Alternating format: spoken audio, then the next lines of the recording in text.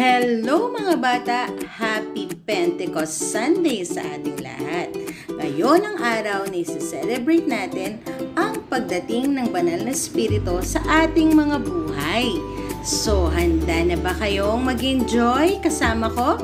So, tayong lahat ay tumayo, tayo'y umawit at sumayaw para sa Panginoon. Tara na!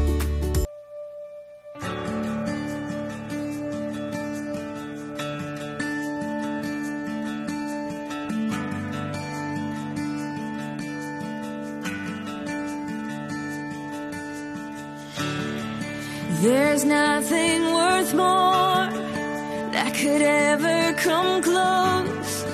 Nothing can compare. You're our living hope. Your presence, Lord.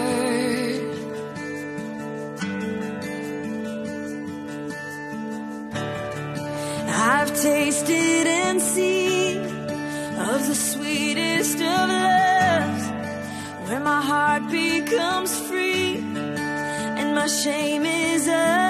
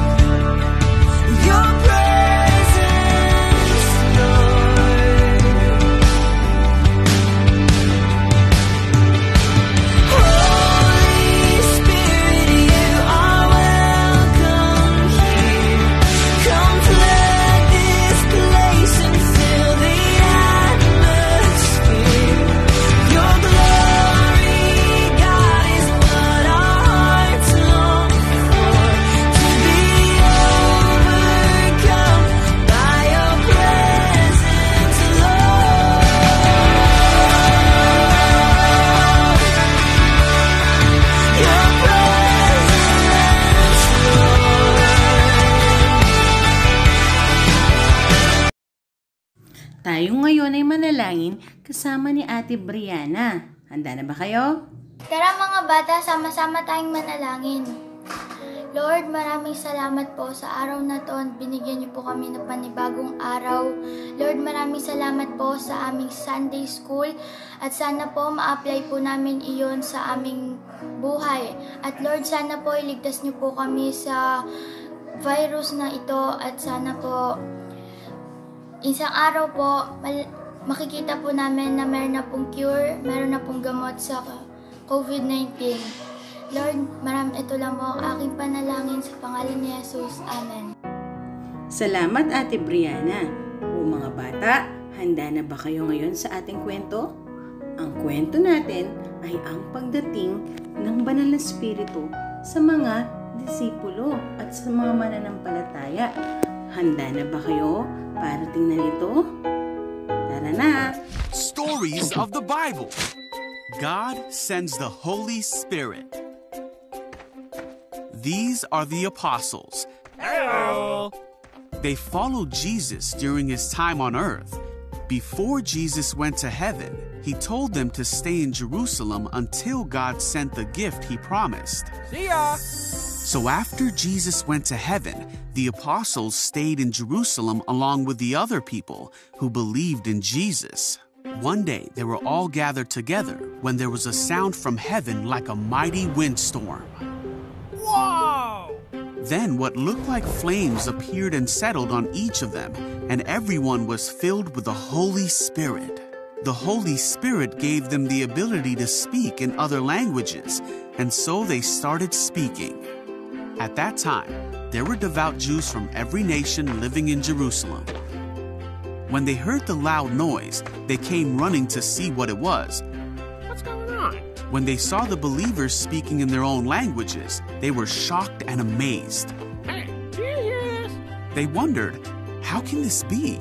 These people are from Galilee, and yet we hear them speaking in our own native languages about the wonderful things God has done.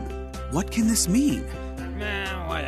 Nah, whatever. But others in the crowd didn't believe that it was really a miracle and thought the believers were just acting oddly. Nah. Then Peter stepped forward and shouted to the crowd, Hey, all you! Listen carefully, all you. He told them that they were not acting strangely, but that this was from God. He reminded them that God said this would happen long ago. Then Peter told them about how Jesus was crucified, but then raised to life again, just as God had said he would be. He told them that Jesus was now in heaven and that God had given the Holy Spirit to them, as he had promised. Peter's words changed what the people thought and felt, and they asked, Brothers, what should we do? Peter told them, Each of you must repent of your sins and turn to God, and be baptized in the name of Jesus Christ for the forgiveness of your sins. Then you will receive the gift of the Holy Spirit. Wow! Peter continued to preach to the crowd for a long time, and those who believed what Peter said were baptized. 3,000 people were baptized and added to the church that day. Then all the believers listened to the apostles' teaching and practiced what they taught. Hey! They met together in fellowship, shared meals, and prayed together. They were amazed as the apostles performed many miraculous signs and wonders.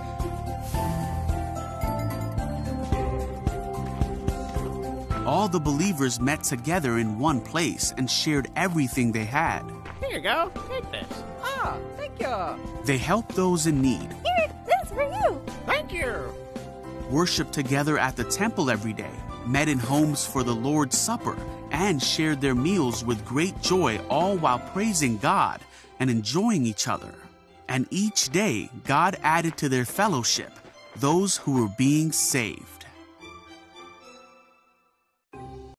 Ano nga naranasan ng mga disipulo na bumaba sa kanila habang sila ay nananalangin? Tama, hangin mula sa langit. Ano pa ang isang palatandaan na bumaba ang Espiritu sa kanila? Oo, apoy ang bumaba at nanahan sa kanila. Mula noon, sila ay napuspos ng banal na Espiritu at nagsalita ng iba't ibang wika. Maraming tao ang nagulat at namangha sa ginawa ng Diyos. Pero mula noon, sila ay naglingkod sa Panginoon sa pamamagitan ng paglilingkod sa kapwa, pagbabahagi ng lahat ng meron sila, pagtutulungan at paggawa ng iba-ibang mirakulo. Para sa ating art activity, handa ang mga sumusunod. Red, yellow, orange construction paper, glue, at gunting. So, handa na ba kayo mga bata para gawin ito? Tara na! Gawin natin ito. Una, gumupit ng dalawang pahaba sa red construction paper. Pagdikitin ng dulo para makabuo ng mahabang papel. Pangalawa, isukat ang papel sa inyong ulo ng pabilog at pagdikitin para makagawa ng headrest base. Pangatlo, gumuhit ng ugis apoy sa iba-ibang kulay na construction paper. Gawin ito ng may iba-ibang laki. Pang-apat, gumpitin at pagdikitin ito Panglima, idikit ang apoy sa may headdress base. Wala, tapos na ang ating Holy Spirit headdress. For our memory verse, i-memorize ito. And everyone who calls on the name of the Lord will be saved. Acts 2.21 Memorize ito. Kaibigan, nag-enjoy ka ba sa ating Sunday School? Oo. At ang mga bata na kasama natin ngayon, alam ko rin na nag-enjoy sila. Handa na ba kayo para manalangin? Tayong lahat ay manalangin. Panginoon, maraming salamat po sa araw na ito sa pinagkaloob niyo sa amin para po kami makapag-Sunday School. Salamat po sa inyong banal na spirito na gumagabay sa amin sa bawat araw. Ito po ay aming panalangin sa pangalan ni Jesus. Amen. Sabihin natin sa kanila, Paalam!